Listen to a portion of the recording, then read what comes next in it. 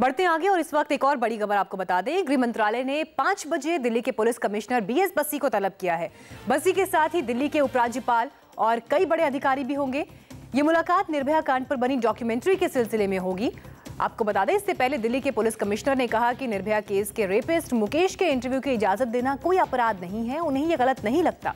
शर्तों के साथ ही इंटरव्यू की इजाज़त दी जा सकती है, ये उन्होंने बयान दिया था आपसे कुछ देर पहले। जो परमिशन एक अलग एस्पेक्ट है। परमिशन में prima facie there is nothing wrong interview की इजाज़त दी जा सकती है और इजाज़त के साथ में कुछ कंडीशंस लगाई जाती हैं। तो कंडीशंस का ऑब्जेक्टिव यही होता है कि इंटरव्यू में कुछ इस प्रकार की बात ना हो जो आ, कानून के विरुद्ध हो। तो इसलिए जो इंटरव्यू की परमिशन देने में आ, ज, आ, जो है या क्यों दी गई?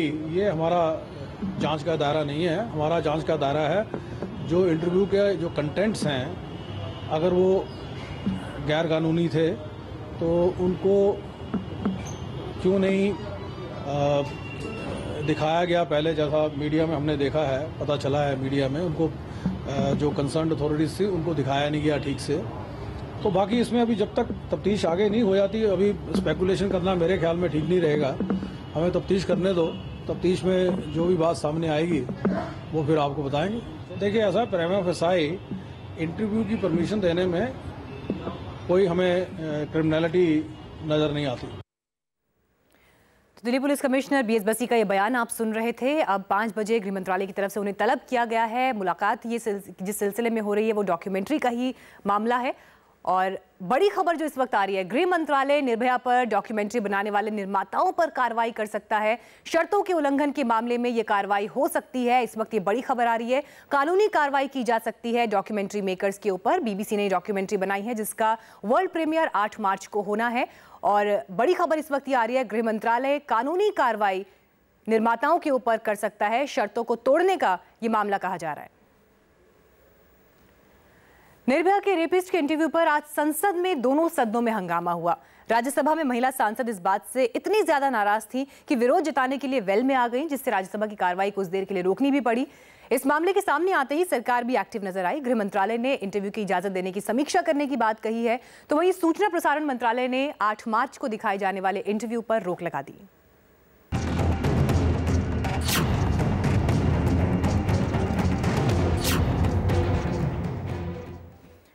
बीबीसी को इंटरव्यू देने की इजाज़त यूपीए सरकार में मिली थी, तब सुशील शिंदे गृह मंत्री थे। इजाज़त की चिट्ठी भी अब सार्वजनिक हो चुकी है, लेकिन सुशील शिंदे का कहना है कि उन्होंने इंटरव्यू की परमिशन नहीं दी।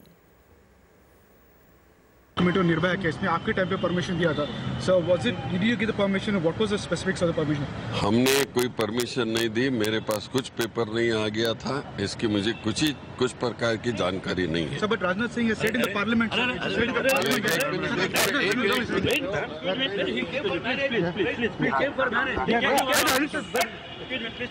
said in the parliament don't accuse home minister Home Minister has not taken my name. You are taking my name. But this is said- not totally wrong. Please, sir, please don't. Array, All right, all no, no, right, wait, all right, wait, all right, don't keep do- going, keep going. No, no, one minute, one minute. one- I wanted to ask you. He came for marriage.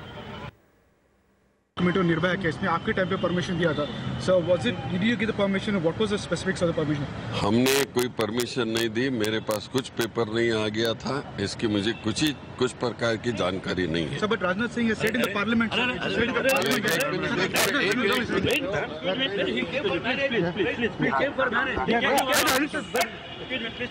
said in the parliament don't accuse home minister home minister has not taken my name you are taking my name But this is not totally wrong Please, sir, please don't. All right, all no, no, right, wait, all right, wait, all right, keep going. No, no, one minute, one minute. I wanted to ask you. He came for marriage. तो सुशील शिंदे यहाँ पर साफ़ तौर पर इनकार करते हुए कि उन्होंने इजाज़त नहीं दी और इस बीच जिस पत्रकार ने सवाल पूछा उससे भी कुछ बदसलूकी यहाँ पर हुई एक ब्रेक के लिए हम रुकेंगे ब्रेक के बाद आपको दिखाएँगे नेताओं की हुई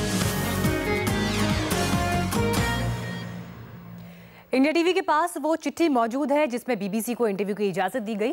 बीबीसी को निर्भया रेप केस के दोषी मुकेश के इंटरव्यू की परमिशन दी गई थी। ये देखिए, तस्वीरों में आपको हम ये वो चिट्ठी दिखा रहे हैं।